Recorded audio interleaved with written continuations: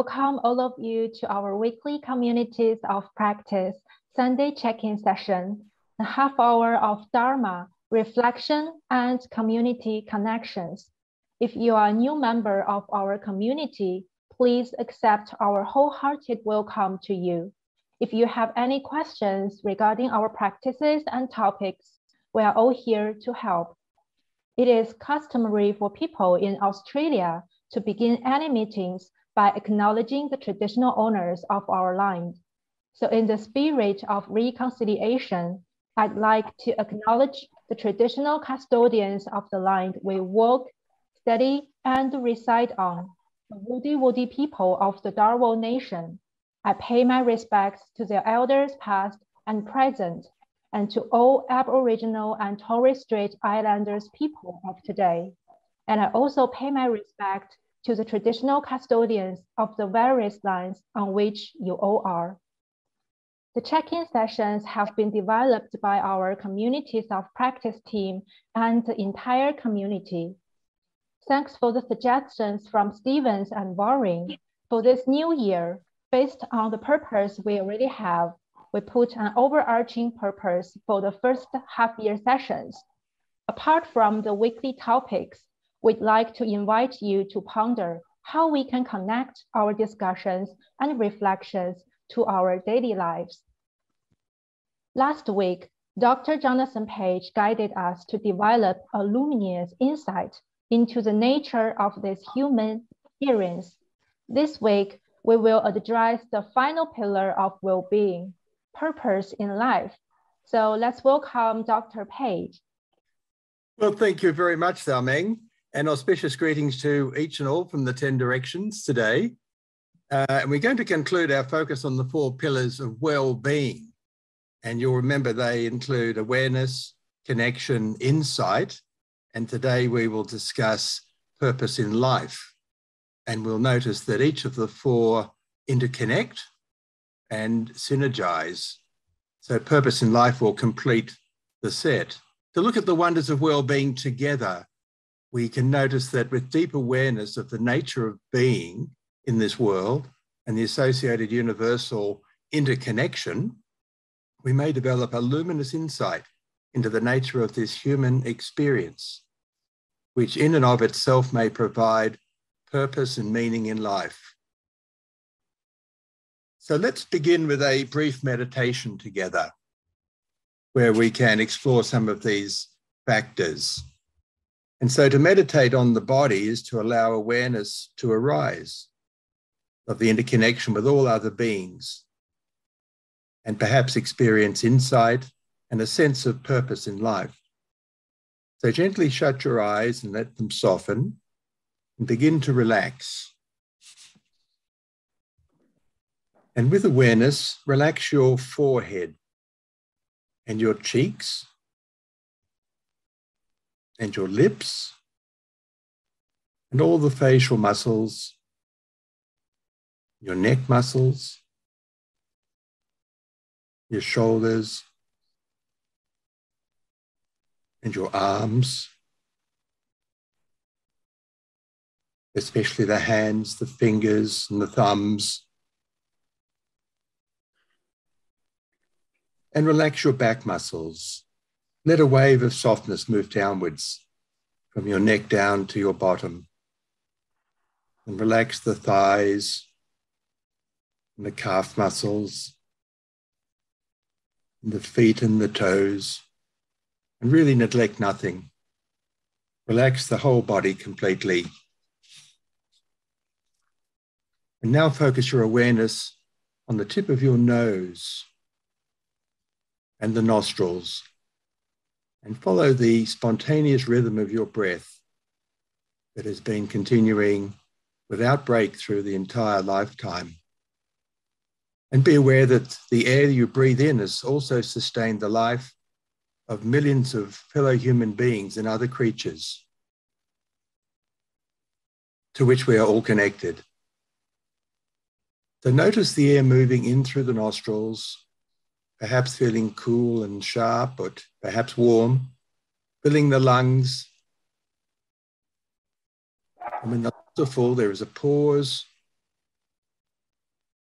And then the air all by itself begins to leave the body through the nostrils.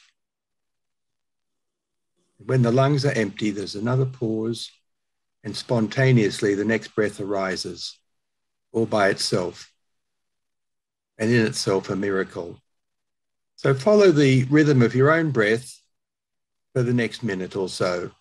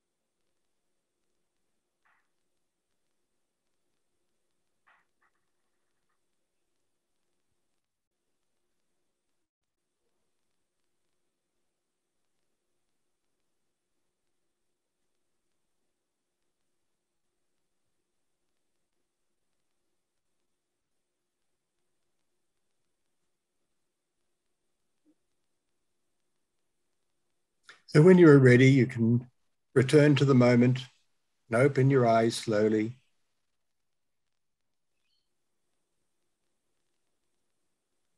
So, purpose and meaning in life.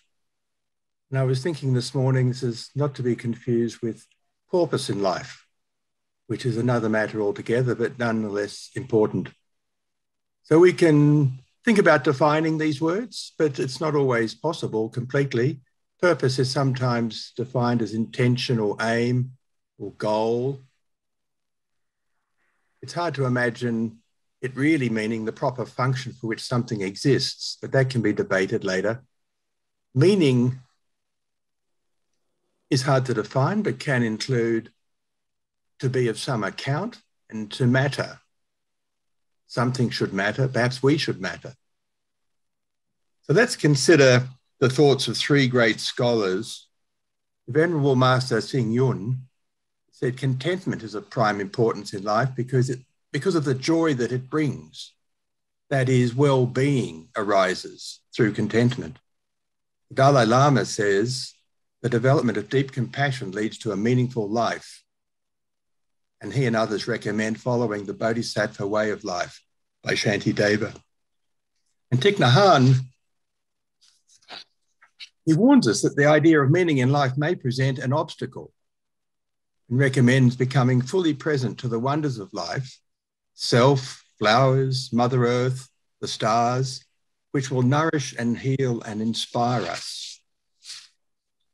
The next slide. So, through the great Buddhist insights, as we've mentioned, of the Four Noble Truths, the Noble Eightfold Path, the condition dependent origination, Paticca Samuppada, and the three marks of conditioned existence. Each of these profound insights that we can share. And these give us further insight into the wonders of life and also the certainty of death. So, meaning and purpose, meaning and purpose in life arise by fully recognizing the reality of anatta or non self and our own inner Buddha nature the essential interbeing of all life, whether this interbeing is a connection between human and non human, sentient and non sentient, or with other non living creations, other existent phenomena. And all of this connection bathed in wisdom, consciousness, and compassion. And importantly, we should just simply rest in that ultimate awareness. That is enough. That provides meaning, purpose, and true belonging. No specific action is necessary. There is no need to strive, to be proactive, to make meaning. No need to identify one's unique talents. No need to work hard to bring them to reality. In ancient Greece, Socrates, whose lifetime overlapped that of the Buddha, developed the virtue ethics of eudaimonia, a very useful concept representing the condition of human flourishing and of living well, achieved by the two great Greek imperatives first, to know yourself, and second, to become who and what you are. And as Shunryu Suzuki proclaimed, each of us should rejoice in being perfect the way we are, but knowing that we could all use a little improvement. And remember the wonderful Desiderata by Max Ehrmann. Quoting from that, beyond a wholesome discipline, be gentle with yourself. You are a child of the universe, no less than the trees and the stars. You have a right to be here. You belong. And you might also ask Do leaves, butterflies, and raindrops ever wonder, what is my purpose in life? So, in the matter of meaning, I think it's important to think of this wonderful book, Man's Search for Meaning, 1946 by Viktor Frankl, a psychiatrist who survived the Holocaust, but whose pregnant wife, mother, father, and brother all died in the camps. And he himself lived more than 50 years to bring solace to traumatized people, only dying in 1997. But even as a young man, in the 1920s as a medical student. He organized youth counseling centers to address the high number of teen suicides, demonstrating that at that time he had an established purpose in life that was spontaneous and of great value. But later in Auschwitz, he identified self transcendence, an essential spiritual freedom that remains when everything else is taken away, including those we love. This makes life meaningful and purposeful.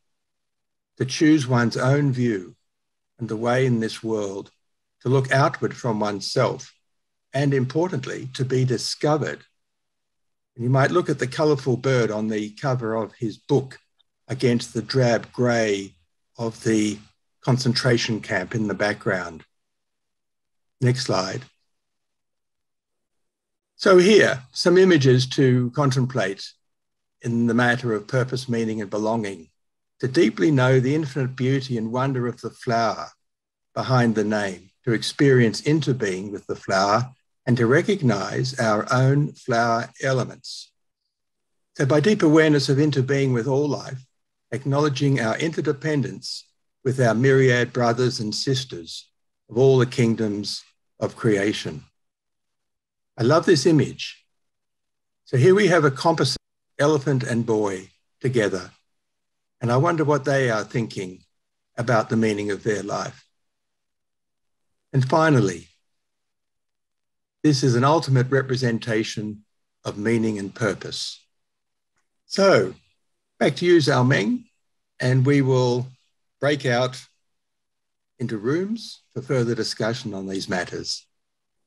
Uh, thank you, Dr. Page, for reminding us that the purpose in life arises by recognition of non-self, interbeing, our own Buddha nature, and rest in the ultimate awareness.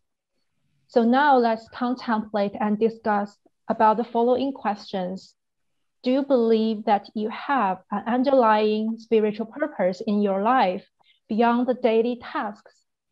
Does this purpose relate to some inner quality talent or intuition that you have, or perhaps share with others? Is it important that life has meaning? What does this even mean? And does a purpose in life and a sense of meaning actually improve your well being, your sense of contentment, or not? Now we will be placed in groups of three to four to share and discuss in the discussion, we do recommend you spending some time to get to know each other and then discussing the questions. There will be some Zoom notifications to guide you, but feel free to let the flow of your discussions guide you. Our sessions are guided by Metta, which is unconditional love and kindness for all sentient beings. Let's use these breakout sessions to express and receive loving kindness to and from one another and uh-huh. take time to pause, share, and listen. We'll also ask you to share some of your findings with the larger group at the end of the breakout discussion. So now let's go to our breakout rooms for rich and nourishing discussions. See you all back in 15 minutes. Welcome back from your breakout groups. Now, if you have some inspiration or some thoughts or wisdom, you can feel free to place them in the chat box to share with everybody else in perpetuity, and these will be acknowledged. So uh, we may not have time to read them all, but feel free as the insight or the inspiration arises, then transfer that to words in the chat box, please. Yeah, now there's some wisdom coming in already. Yes, the anchoring. Anchoring of our life to purpose and meaning, even when we're not aware of it, I guess. But we can become aware of that. Yes, and attending to this very moment is important. So that's that's awareness and focus deeply. Joyce, minimizing your greed, hatred, and delusion. that was very honest. And then, uh, boy, yes, this balanced spiritual mind. Uh, thanks, Mai, for this. Um, yes, and that leads to understanding, making wholesome. I love that wholesome decisions and actions that make life purposeful. Yes, thank you very much. So continue offering your, your wisdom uh, thank you and sharing it with everybody. And I'll return now to Zhao Meng. We'll conclude the first part of our meeting. Okay, thank you, Dr. Page. We really hope the check-in session was helpful to you, and we hope you experienced the unconditional love and compassion of this community. But for anyone who might be experiencing a greater need than what today could meet, please don't hesitate to get in touch with us and you can also reach out to the professional organizations on the screen. And a kind reminder for anyone who might be interested in studying at Nan Tien Institute, the deadline to apply for the Xingyun Education Foundation Scholarship of the second round this year will be 15th April. So go for it to review your unlimited potential with NTI and to enhance the well-being for the world. As we check out today, let's recite the dedication of merit together to send love and compassion to whoever is in need.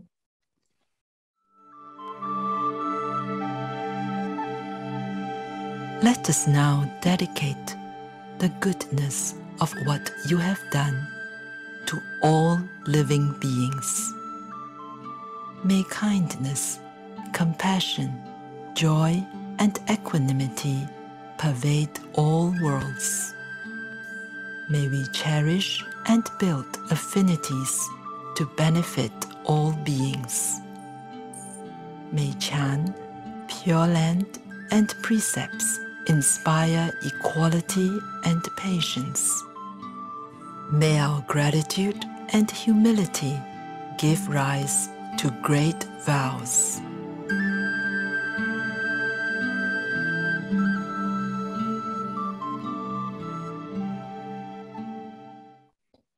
Thank you, Dr. Page, for leading the February sessions and guiding us to explore the four pillars of well-being, through which we gain new insights into the wonders of life.